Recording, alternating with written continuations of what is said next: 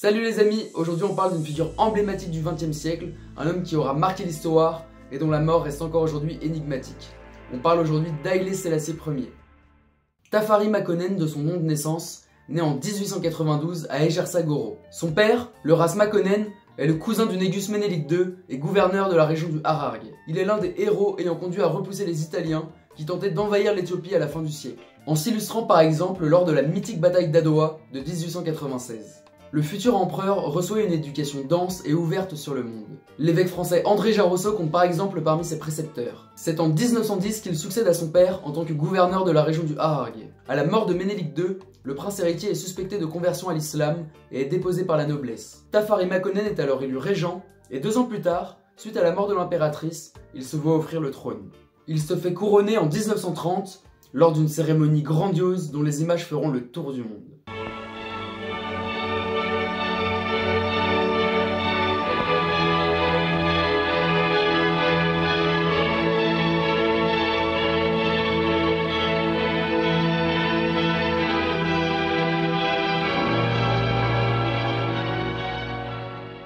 Il devient ce jour-là roi des rois d'Éthiopie, seigneur des seigneurs, lion conquérant de la tribu de Juda, élu de Dieu et lumière du monde. Le nouvel empereur mène alors une politique réformiste. En 1942, il abolit l'esclavage qui est une pratique ancestrale en Éthiopie. Il modifie aussi le système de répartition agraire pour le rendre plus juste. Il modernise le système éducatif de son pays ainsi que les infrastructures. Par cette politique progressiste, le Négus s'affirme aux yeux du monde. Il fait de cette manière entrer l'Éthiopie dans la toute jeune Société des Nations créé en 1919 pour établir la paix dans le monde. Cependant, ces projets de réforme font face à un coup d'arrêt. En 1935, l'Italie de Mussolini, désireuse de se construire un empire colonial, envahit l'Éthiopie. Le Négus sollicite alors l'aide des Anglais, mais ces derniers s'entendent avec l'Italie la non-intervention anglaise contre des ressources italiennes. Et c'est ainsi qu'en 1936, le roi d'Italie, Victor Emmanuel III, s'autoproclame empereur d'Éthiopie.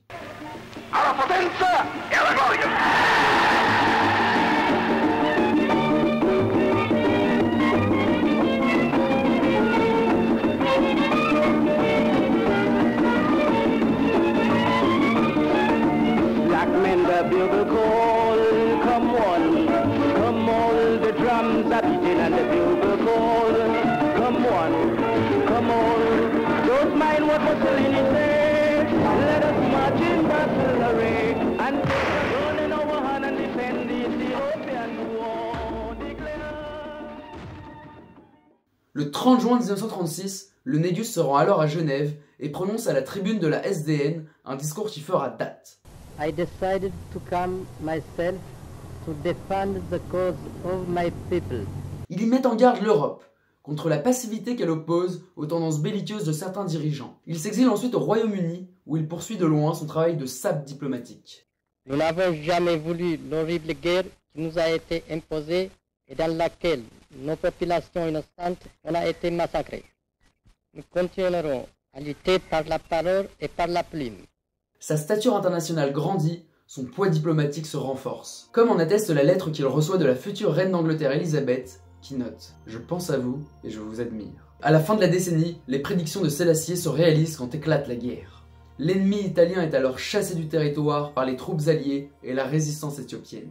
Après six années d'exil volontaire, le roi peut retrouver son trône.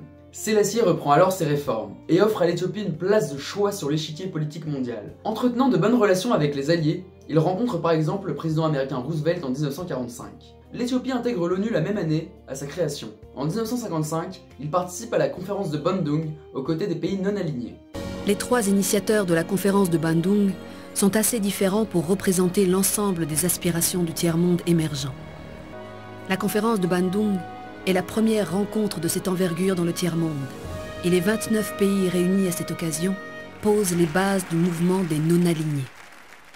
Il nourrit en effet une ambition claire, faire entendre la voix des pays africains sur la scène internationale. De cette manière, il se fait le porte-parole d'un continent. Sa patrie libérée, l'idéal qui guide alors ses pas est la création d'une union panafricaine. À son instigation est alors fondée l'Organisation de l'Unité africaine en 1963 ancêtre de l'Union africaine actuelle. Celle-ci établit son siège à Addis Abeba. Premier président de cette organisation, le Négus parvient à convaincre le Maroc et l'Algérie de signer les accords de Bamako, mettant un terme à la guerre des sables. Sa politique intérieure connaît quant à elle un tournant en 1960. À la suite d'une tentative de coup d'État, à laquelle fut mêlé le prince héritier, il poursuit une politique plus conservatrice. Parmi les étudiants et les élites, les mécontentements sont croissants, ce que ne vient pas arranger la famine de 1973. The root cause will be starvation.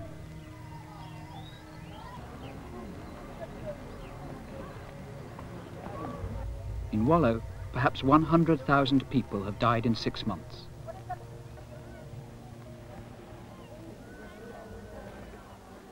La réponse du gouvernement pour secourir les régions touchées est jugée insuffisante. Comme le montre cette image qui fait le tour du monde, où l'on le voit nourrir ses chiens, un coup d'état militaire se produit alors. Et le 12 septembre 1974, l'empereur est destitué.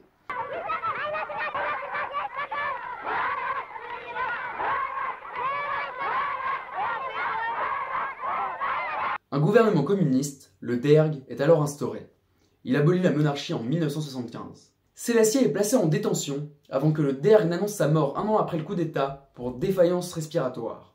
En réalité, annoncée sans autopsie, cette mort intervient dans des circonstances pour le moins obscures. On sait aujourd'hui que l'empereur fut très certainement assassiné sur ordre du DERG par strangulation. Sa dépouille est alors dissimulée dans les soubassements des toilettes du palais impérial jusqu'en 1992. Et ce n'est qu'en 2000 que l'empereur reçoit des funérailles.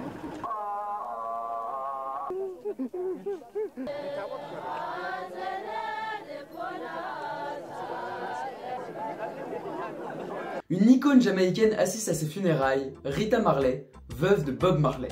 Avec lui, elle s'était convertie au rastafarisme en 1966 à la suite d'une visite du Négus en Jamaïque.